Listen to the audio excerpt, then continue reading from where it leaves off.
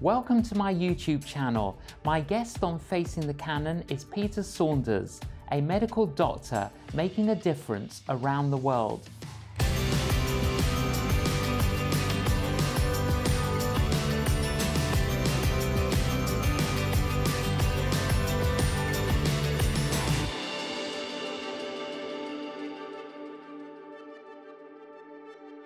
Dr. Peter Saunders, welcome to Facing the Canon. Thank you. I'm delighted to have you on the program, Peter. You trained as a doctor in New Zealand. What did you do then? Well, I grew up in New Zealand. My, my dad was a, uh, a lay preacher and a businessman. My mother was a nurse, and I went to medical, medical school with my best friend.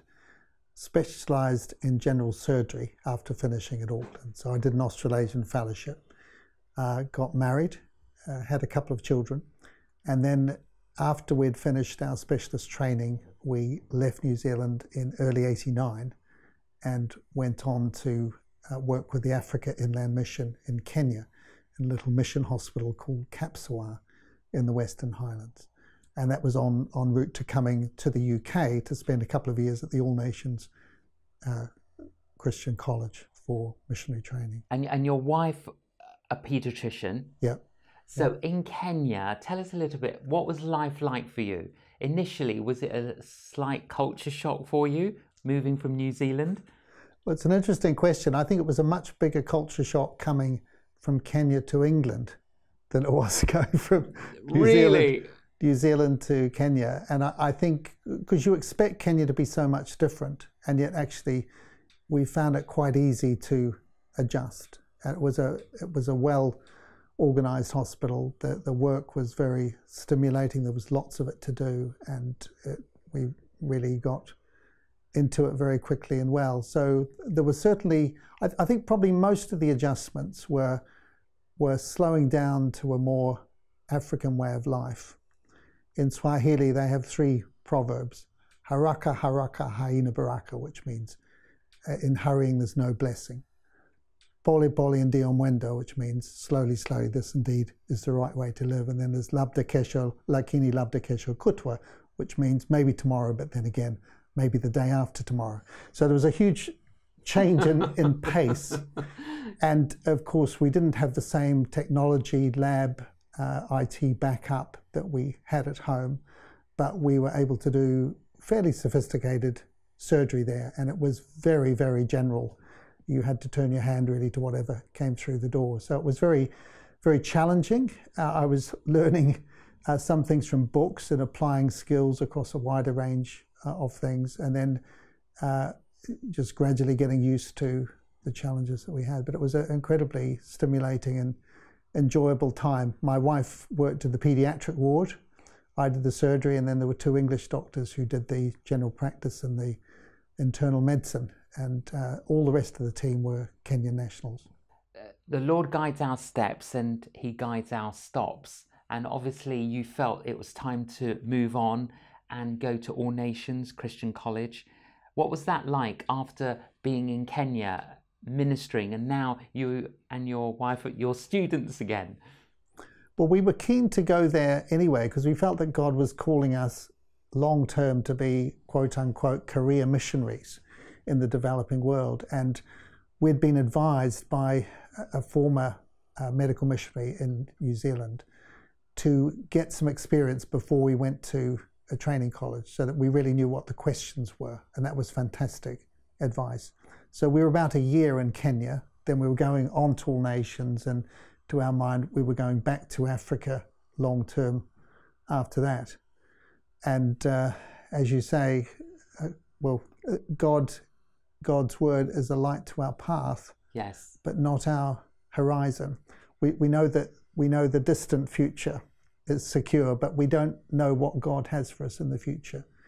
And the path that He had mapped out for us was very different from from what we had envisioned. But we arrived in the UK in uh, September 1989. So, if you know your history, folks, it was just before the Berlin Wall came down, all yes. the extraordinary changes in Eastern Europe. So there we were with 170 students from 40 countries, all wanting to do cross cultural mission abroad, training there. And we're, we're in this college learning about mission, and all of these amazing things are happening around us. And the Holy Spirit is rewriting and redrawing the maps of the world. And, and suddenly, vast areas like the Soviet Union and Eastern Europe were opening up in a way that they never had been before. So it was an extraordinary time to be there and a time too of deep questioning about, you know, how can we be most strategic going forward too. Absolutely. But you're obviously we're not guided back to Africa in but you were guided in another direction. What happened then? Well, when we when we left New Zealand, it was there were a lot of uh, cords that were cut, if you like. So you know, we left home, family, church, friends, career, all of those things. We, thought that those were big steps, but there was a sense in going to Africa to do mission that it was pretty much of an adventure as well. And I think the cost was probably greater for you know our parents and those we left behind taking their only grandchildren abroad than it was for us. But when we got to All Nations, and I think two years with mission-minded folk studying the scriptures, looking at the world change, asking deep questions about what God wants, and and I started to sense that He was calling me out of medicine. And that was extremely uncomfortable to start with. And uh, in a sense, we felt we'd cut all the strings. But then for me, there were three remaining ones. I didn't want to leave medicine. I didn't want to give up my dream of working in the developing world as missionary doctors together. And I certainly did not want to live in England. because of the weather. well, all, all, all, sorts of all sorts, all sorts of, reasons, of, reasons, Yeah. Yes. But um, and, and yet that was where he was leading us because because while we were at All Nations, he really opened up our eyes, I think, to the opportunities for cross cultural mission in the West and in Europe, and in a way that we'd never seen it before. And we started to see that God was bringing people from every nation under the sun to the cities and the universities and the hospitals and the medical schools of Europe.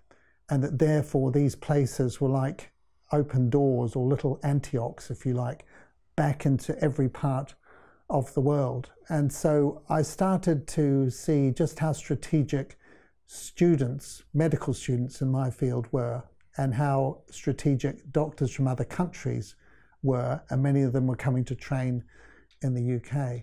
And so there was a series of steps really where I began to wonder whether my future was in clinical medicine. And to cut a long story short, he called me out of clinical medicine, out of surgery at that point, into full time student ministry. So it was over a period of two years at the college of thinking and praying through all of that. So I stepped out of All Nations into a role as head of student ministries at the Christian Medical Fellowship in the UK. And uh, and I ended up doing that for quite some time. Um, yeah, so, and then different roles within that as well. That's right. So yes. I was I was head of student ministries for eight years, and then uh, the CEO left at that point, and uh, people were nudging me to apply for that position. I wasn't that keen because I was really enjoying the, the student, work, and I I think when I took on the student job, finally understanding what it was all about, it was like treasure in a field to me. You know, I, I really felt I'd give up everything to do it because it was such an amazing opportunity. But then when the CEO role came up, it was much more like, let this cup pass from me. Yes. I did not really want that at all because I was very happy with what I was doing. So there was a, a little bit of wrestling there around the millennium, but eventually I. Um, uh, surrendered and uh, took on that role. And actually, I, after doing the student work for eight years, I ended up being CEO for 19 yes. years uh, up until just three years ago. So, Christian Medical Fellowship, Peter, what is it? What does it do? Well, essentially, it's there to, to equip Christian doctors and nurses to live and to speak for Jesus Christ in all areas of their life, whether it's family or work or uh, you know, community or, or, whatever. And so it brings together about 4,000 doctors, about 300 nurses, and about thousand medical students uh, from all over the the UK. So we're talking about 40 odd medical schools and all the hospitals and GP surgeries. So about half of the members would have been general practitioners and the rest hospital. Peter, I mean, that's wonderful when you think the number of, of doctors and nurses that you're able to influence. I, I think of a church leader who may have a congregation of 100, and yet the potential here to influence was huge. I think it is. And uh, if you think many more people will go through the doors of a doctor's surgery or hospital than will ever go through the doors of a church. And so doctors and, and nurses are in a unique position, really, to be able to have contact with a vast number of different people. And, and often at times in their lives when they're really asking deep questions as well. So we see them as a strategic people group, if you like, in world mission. That um, that they're they're folk who need to be like every member of the church equipped to be able to share their faith and to be able to live out their faith and Christian values uh, as salt and light in the marketplace, as tent makers like Paul, if you like, raising their own support, but being God's presence in society. So obviously, you were a bit like a pastor to them, uh, encouraging them, equipping them, but I can imagine helping them to navigate some huge landmines. What kind of advice were you able to say, give to your doctors in your fellowship when it came to an issue like abortion? Because the doctor is in an awkward position there. So, how were you able to advise them? Well, I, I think the thing about Christian Medical Fellowship is that it really was a fellowship in the sense that we had an extraordinary range of ability and giftedness and knowledge across lots of specialties as well. So people were able to encourage and build one another up and help one another. I was uh, probably more just trying to orchestrate and facilitate that whole process. But in helping doctors and nurses, uh, first of all, there's, there's uh, being a witness to their patients and their colleagues. And then there's living out their faith uh, and showing the character of Christ and what they do. But then, uh, as, as you say, there's negotiating all these difficult ethical issues. You know, how do you deal with uh, abortion or euthanasia or transgender or truth telling and confidentiality in a Christian context. So it was helping them to think about those things, but also thinking about world mission in a medical context and the fact that that medicine and nursing really do open doors to places around the world where you cannot get just as an evangelist or, or pastor or, or church planter. And so that there's a responsibility too that's much wider uh, geographically in God's world to you know to go to, to places. Absolutely, but but these issues, Peter, that you have just mentioned, uh, we're all having to work out how do we navigate responding to these issues that might be affecting our family or our neighbors or our community. How do we today respond to the currents in our society and not be overwhelmed by them? Well, I think it was John Stott who used to talk about double listening. He said, We've got to listen to the Word of God and also to the world of God and bring the two together. So the Bible in one hand and the newspaper in the other, if you like. And so we have to integrate our faith with the world in which we live. And I think the temptations for Christians in the world are, are first of all to escape to our little Christian ghettos and not engage at all. Uh, and, or the other temptation is just to blend in and uh, run with the current and not be like anybody else because it's much easier that way. But I, I think what God calls us to do is first of all to be engaged in society, as Jeremiah said, you know, become part of the of the city in which you've in which you live. Seek its good, Uh, so we're called to engage and be engaged in every aspect of society and trying to be salt and light.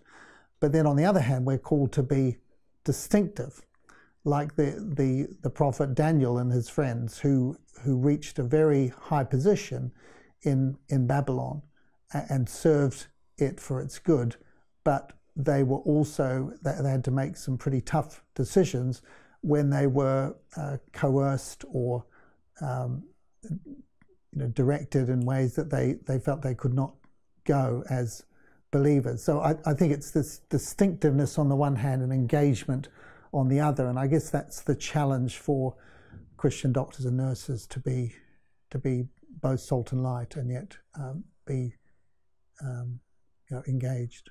And I think today, Peter, would you not agree that there seems to be an anti Christian bias at the moment? And it's almost like we can't, anything we say, we're shot down. And it's very, very difficult. We feel like we're navigating.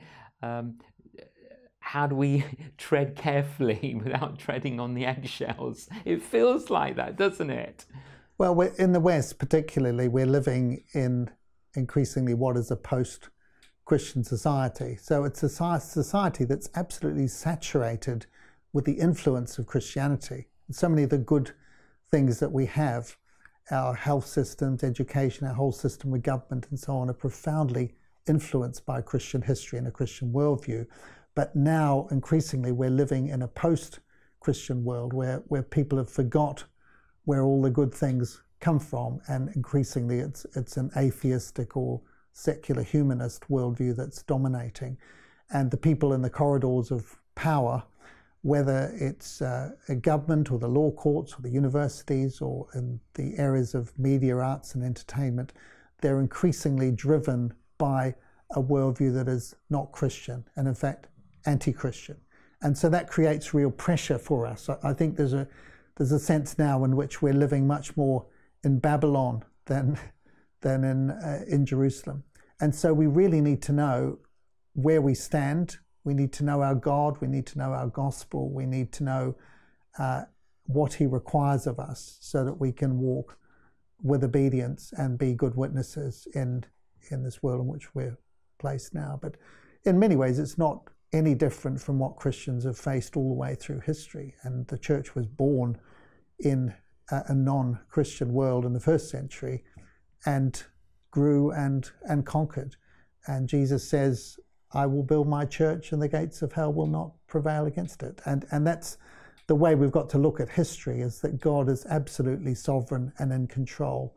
And he's working out his plan of gathering people from every nation under the sun unto, into his kingdom, uh, and ultimately to herald in the return of Christ and the new heaven and the new earth. So you know, we don't we don't lose hope but we, we're not surprised to face real difficulty and uh, not, not surprised that there's opposition, particularly in what is, I've said, is a, a post Christian or perhaps even an end stage culture in which we're living today. That's so, so encouraging to hear and a good reminder, Peter, that actually the, the early church had opposition and that throughout the centuries there's been opposition. I suppose today with social media, everything seems magnified uh, and appears worse, and, and obviously the population is greater. But actually, these battles have been going on for centuries. But uh, the Lord is still on the throne. Well, absolutely. And I think we get a, a very jaundiced and incorrect view of what's happening in the world from just watching the media or, or social media when we step back and look at it from, from God's perspective of history, what we see is the church advancing and growing all over the world, more people becoming believers now than they than has ever been the case before. And God is fulfilling his plan and his promise that he gave Abraham right at the beginning that through him and through his seed, Jesus Christ, every nation would be blessed and touched. And uh, we, we've got to keep our eyes on that goal and to know that however things look, that God is in control and that He's working all things ultimately for the good, and that there will be a new heaven and a new earth where righteousness dwells. And we can look forward to that with great confidence and look to Him in our weakness to be faithful in the present. Absolutely. You spent those years with the Christian Medical Fellowship and then you moved on into what? So I'm now with a group called the ICMDA, the International Christian Medical and Dental Association. And ICMDA is an umbrella body for all the Christian medical fellowships around the world. So there are over 80 countries in the world which have Christian medical fellowships or Christian medical associations like CMF that I worked with. And uh, ICMDA seeks to bring all of those together. And so I moved from CMF three years ago uh, into ICMDA. We're, we're, quite a small organization. We just have five staff, uh, but we have 61 field workers, all of whom are tent makers. So they're they're working either full or part time in medicine or dentistry in 14 different regions around the world. And our dream, our vision, is a Christian witness through doctors and dentists in every community and in every nation. So it's a you know it's a Matthew 28 wow. vision. But but our aim is to start and to strengthen national associations of Christian doctors and dentists. So where they don't exist, we start them. Where they do, we help to strengthen them. And so that the core of our work really boils down to, to developing, training, and mentoring leaders, because that's the best way of starting and strengthening national movements. So our focus very much now is on um, developing Christian medical and dental leaders. So, so I'm now uh, working with ICMDA. In, in over 80 countries. Yeah. So that's hugely encouraging. It is, and it's and it's growing. So, uh, and of those 18, we have another uh, at, at our next World Congress, which is in 2023. We've got another 16 target nations who are moving towards affiliation where there are already national groups developing. Uh, we know of another 15 with with national groups starting, and then we've got Christian medical and dental contacts in at least another 30 or 40 countries. So uh, there's there's growth happening all the time, and and the Lord just seems to raise up amazing individuals and brings them to our attention, and we uh, we get in touch with them and are mutually encouraged, and then see what we can do to establish these new national movements, and, and particularly focusing on students and young leaders because they're the leaders of the of the future.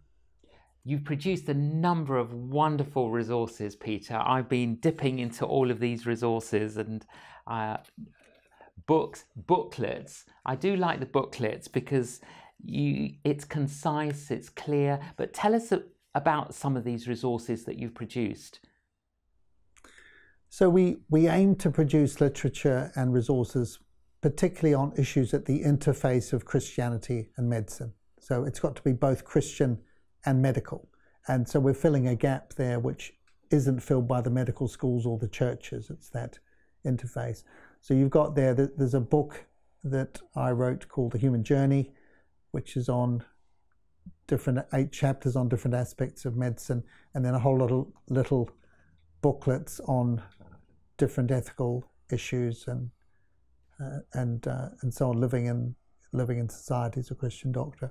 But that's a, a small subset of what's available through the Christian medical societies and fellowships around the world, particularly the larger ones like the CMDA in the US and the CMF in the UK as well. And uh, so there are there are books and journals, resources, blogs, and so on. So any any subject that you're interested in at the interface of Christianity and of medicine and nursing, you can find things there. Of course, when COVID hit, uh, uh, our our work changed completely because at ICMDA it was very much built around running regional conferences or language-based conferences in different parts of the world and in funding field workers to travel into countries. And of course, those two things stopped being available. So we had to we had to think, well, what are we going to do now? And um, one of the first things we did was to start up a global webinar series. And so we started doing a whole series of talks on COVID from a medical and Christian perspective. And then, of course, as the pandemic went on, we'd exhausted all those topics, and so we branched we branched out. And so every Thursday at uh, 2 p.m. we have a Christian doctor or dentist who will be broadcasting to. Uh, we get audiences of usually about 80 to 150 doctors and dentists from 40 to 60 countries on on average around the world, and we're, we're up to number 90 webinar now. So we've just kept kept going, and we film everything. We put it up on our website. We make it available, and things get a lot more hits on YouTube than they ever get live. So it's helped us to build up a great big variety of resources. And the other thing that we're really majoring on is what we call training tracks. So we started up, up with this small group learning, eight to 12 people from maybe six countries who come together on Zoom once a week uh, to, to hear a talk and answer questions initially. But then we filmed all the talks and we, we, we used the see one, do one, teach one principle, whereby the trainees, after a 10 week course of this, then became the facilitators but used the videos from the first course. So we started off with four 10 week training tracks. The next generation we had 10 and the next generation we had 23, and then we're now on to the, the next one. So we've had hundreds of young doctors and dentists from you know 30 or 40 Tremendous. countries uh, studying bioethics or evangelism and apologetics or leadership uh, and so on. Uh, so so COVID has pushed us, like everyone, in directions that we would never have imagined. But it's been, I think, largely good for the fellowship, and now we're in the process of trying to adapt back to a, a life which is partly what we've learned in COVID and partly what we did before, more of a hybrid ministry. Peter, it, it's so encouraging and reassuring to know that these fellowships exist and that you exist to support doctors and dentists and nurses for the kingdom of Jesus. And well done to you for all that you've done and all that you're doing, and keep on keeping on. Thank you for joining us on Facing the Canon. Thank you, it's been a pleasure. Isn't that encouraging? I, am just encouraged to hear of so many doctors in, and nurses and dentists in so many different countries all endeavoring to live for Christ in the calling that God has given them all. If you are a doctor, dentist, a nurse, then can I encourage you to look at the fellowships and consider becoming members of the fellowships and tapping into some of these incredible resources. Thank you for joining us on Facing the Canon. Please join us again.